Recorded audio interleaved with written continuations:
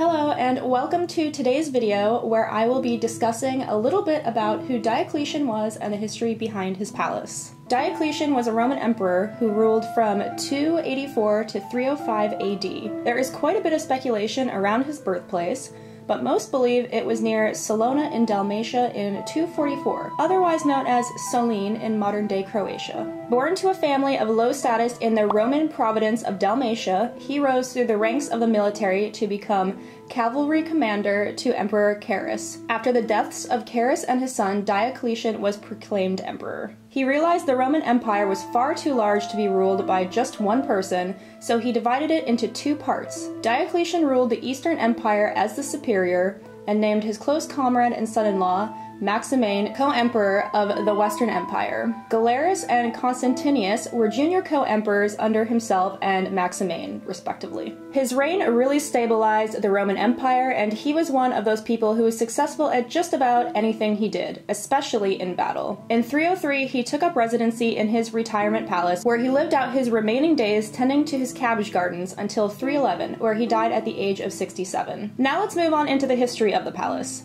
which, to be honest, was more of a fortress than a traditional palace. It is believed Diocletian commissioned Greek architects Zacotus and Philotas to design the palace, as their names were later found engraved there, but this is all speculation as no formal documentation was ever recovered. The palace began construction 10 years prior to Diocletian's retirement in 295 and was completed in 305. The palace was six football fields in size, now claiming around half the old town of current day Split, Croatia and was built 6 kilometers southwest from his birthplace in Salona. Remember, we're in the 4th century AD, and the sheer size and level of difficulty to perfect the structure should have taken at least 100 years to build. However, it was done in just 10. The reason this was possible was because the workforce consisted of 50,000 slaves. It was also built to mathematical perfection, meaning the angles and degrees had to be just so, which would have taken an engineering genius. To recreate this level of perfection today would be extremely difficult, even with the help of computers. Each individual stone was hand cut perfectly to fit together as a sort of puzzle piece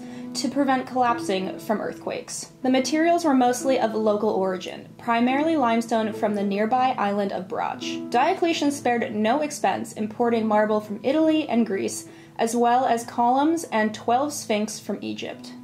Now, these are a couple of pieces of rocks which was used for decoration of this palace.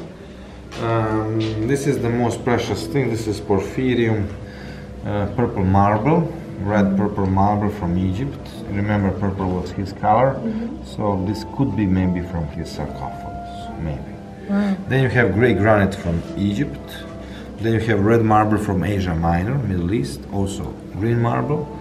Then you have gray marble from Greece. Then you have pure white marble from here, and then you have onyx from Egypt. Each wall of the palace had a gate at its center that is named after a metal. The elaborate northern golden gate, the southern Bronze Gate, the eastern Silver Gate, and the western Iron Gate. The unassuming Bronze Gate once opened straight from the water into the palace basements, enabling goods to be unloaded directly from ships and stored here. Within the palace walls, you would have found his living quarters, living accommodations for his servants and military garrison, a food and wine cellar, gardens, and the Temple of Jupiter. So, this was his residence.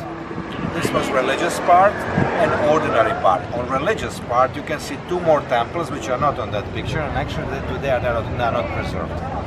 Temple of Venus. Venus was mother of fertility. And this was a temple of Cybele. Cybele was Mother Earth, Mother Nature. Although it is now the baptistry of St. John, the Temple of Jupiter was originally an ancient Roman temple dedicated to the king of the gods. It still has its original barrel vaulted ceilings and decorative frieze, although a bronze statue of St. John the Baptist now fills the spot where Jupiter once stood. Unfortunately, we didn't get time to tour the temple. Diocletian proclaimed himself as the son of Jupiter and believed himself to be godlike.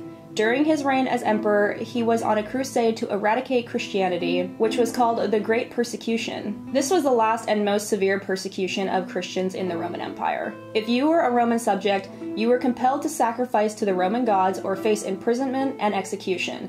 You also had to comply with traditional religious practices. During his 15 year reign as emperor, around 3,000 to 3,500 Christians were executed under the authority of imperial edicts. After Diocletian's death, the son of Constantine the Great succeeded him. This is also where Constantinople gets its name. Constantine the Great became the first Roman emperor to convert to Christianity and played an influential role in the proclamation of the Edict of Milan in 313 which declared tolerance for Christianity in the Roman Empire. Constantine the Great is remembered as one of the greatest Roman emperors to have ever lived.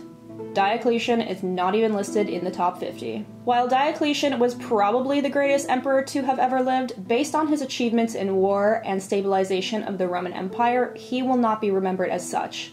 Today, history does not remember or recognize the good Diocletian did for the Roman Empire, due to his persecution of Christianity. His temple is now converted into a Catholic cathedral in memory of those he slaughtered, and any history or remains of him have been destroyed. Today, the palace is no longer in its original form. Apartments, restaurants, and storefronts now line much of the inner structure. There are around 220 buildings within the palace boundaries, and it is home to around 3,000 people. For fans of Game of Thrones, Daenerys Targaryen kept her dragons here in what was the basement of the palace. I really hope you enjoyed this virtual tour. Please don't forget to like and subscribe on your way out.